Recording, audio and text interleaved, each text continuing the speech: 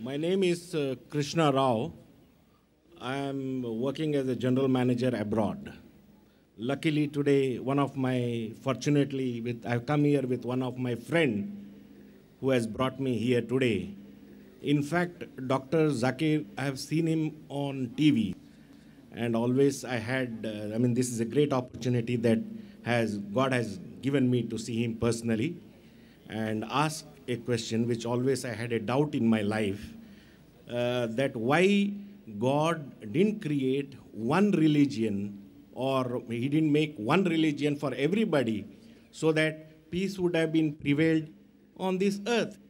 He knew it or he never knew about it that these are the problems which are going to be faced. Brother asked a very good question, very important question. Why did not God create only one religion? Why did he create all the different religions so there will be no confusion, no fighting? And I agree with him, it's a very good question. And if you read the Quran, Allah says in the Quran in Surah Al-Imran, chapter number 3, verse number 19, Inna dina in the Islam. The only religion acceptable in the sight of Allah is Islam. Islam means submitting of will to Almighty God. So if you read all the religions, Almighty God only sent messengers to preach one religion. All the messengers that came, right from Adam, peace be upon him, right down Noah, Moses, Jesus, Muhammad, peace be upon them all, all the prophets, and our beloved prophet said, there were 124,000 messengers sent on the face of the earth. And it's mentioned in the Quran in Surah Fatir, chapter 35, verse 24. There is not a nation or a tribe to whom we have not sent a warner or a guide. Allah says in Surah Rad, chapter number 13, verse number 7, وَلِكُلِّ قَوْمٍ had, And to every people have we sent a warner. Now, all the messengers that came, brother, they taught nothing but submitting their will to Almighty God. And the basic message that all these messengers taught oneness of God. He did not beget. He has got no mother. He has got no father. He is only one. There's nothing like him. But due to passage of time, all what the messengers preached, it got corrupted. And if you heard my talk, I mentioned that most of the scriptures that came before the Quran, they got changed. And Allah says in the Quran, in several places, if He wanted, He could have made everyone submit his will to God. Everyone Muslim. See, Muslim brother, don't take it as a religion. The real meaning of Islam is it's a deen, it's a way of life. Submitting your will to God.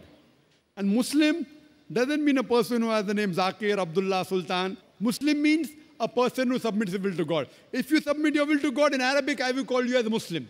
So don't go on the labels given Sultan, Zakir, Abdullah. Muslim in Arabic means a person who submits his will to God.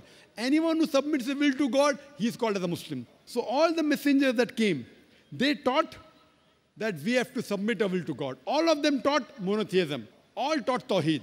But by the passage of time, all these scriptures kept on changing. And that's the reason Almighty God, He sent the last and final messenger, Prophet Muhammad, peace be upon him. And the last and final revelation, glorious Quran. Now, all the messengers that came before Prophet Muhammad, peace be upon him, all the revelation that came before the Quran, they were only meant for those people and for that time. By name, four are mentioned in the Quran. Torah, Zabur, Injil, and the Quran. Torah is the Wahi, the revelation which was given to Moses, peace be upon him. Zabur is the Wahi, the revelation given to David, peace be upon him. Injil is the Wahi, the revelation given to Jesus Christ, peace be upon him. And Quran is the last and final revelation given to the last and final messenger, Prophet Muhammad, peace be upon him. But Quran also says in Surah Rad, chapter number 13, verse number 38, it says, kulli ajlin kitab. In every age have we sent a revelation. There were several revelations sent down. But all the revelation that came before the Quran and all the messengers that came before Prophet Muhammad, they were sent only for those people and for that time. That's the reason Almighty God did not think it fit to preserve it. But since Quran is the last and final revelation, not only sent for the Muslims or the Arabs, it is sent for the whole of humanity. And Prophet Muhammad, he is not sent only for the Muslims or the Arabs, he has been sent for the whole of humanity. That is the reason he has been prophesied in all the major world religious scriptures.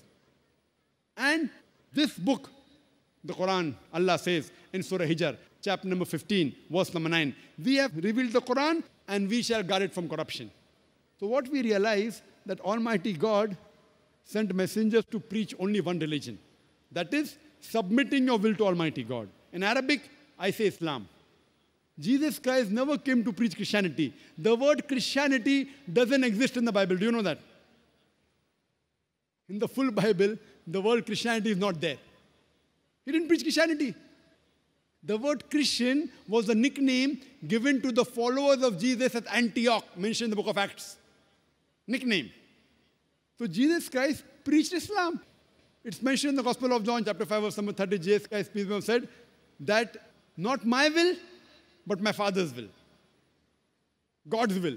In Arabic, he preached nothing but Islam. Similarly, if you read Bhagavad Gita, Sri Krishna said that you have to submit your will to God. If you understand Arabic, he says that you have to accept Islam. So what we realize that all the messengers taught nothing but submitting our will to God. That is the reason the Quran says in Surah Imran chapter 3 verse number 19, Inna dina in the Islam. The only way of life accepted in the sight of God is submitting our will to Almighty God. So what we have to go back to the original scriptures. Go back to the commandment of Almighty God and submit your will to the commandment of God, and then you will be following the straight path. Hope that answers the question well.